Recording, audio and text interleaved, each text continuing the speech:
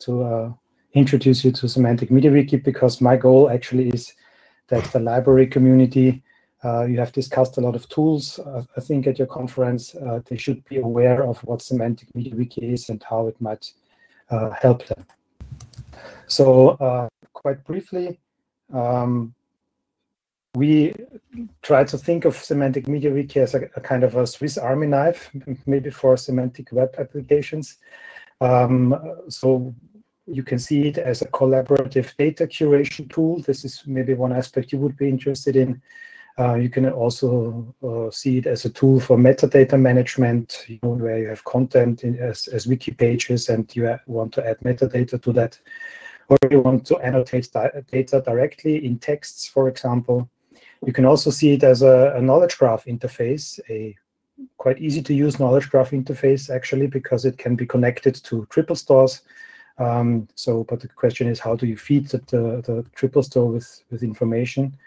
Um, if you don't care about semantics at all, you can also see it as a, a web-based database solution or a, a, modern content management system uh, because it is based on, on uh, MediaWiki. So, um, and it adds managing data to MediaWiki.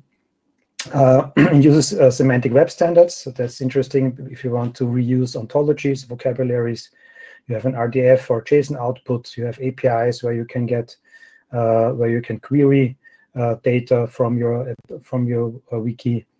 Um, one of the benefits also it has an internal querying of data uh, with a rather simple to learn ask query. So for those of you like me who find SPARQL rather challenging, uh, this could be interesting. SPARQL is uh, an option in Semantic MediaWiki as well um, but not uh, so not directly. Um, so via a triple store or other uh extensions. Um, importing, exporting, and visualization is possible of the data you have in your um, in your wiki. Uh, there's around 70 result formats that uh, present you the, the, your data in, in various visualizations or, or formats, including BibTeX, for example. Uh, you can even implement business logic uh, with uh, Semantic MediaWiki. Um, so you can do this by customizing. So every customizing step is done on wiki pages. So you have properties as pages and templates as pages and all that. So you don't need a PHP program or any programming skills actually to really implement also business logic uh, into your your uh, your solution. And it's an open source software with a vibrant community. So we just had 234 participants at our conference this week. That was that was record breaking. Uh, one thing I, wanted to I want to mention because we also love Wikidata, and the question is how to connect semantic MediaWiki and Wikidata is something that I'm working on.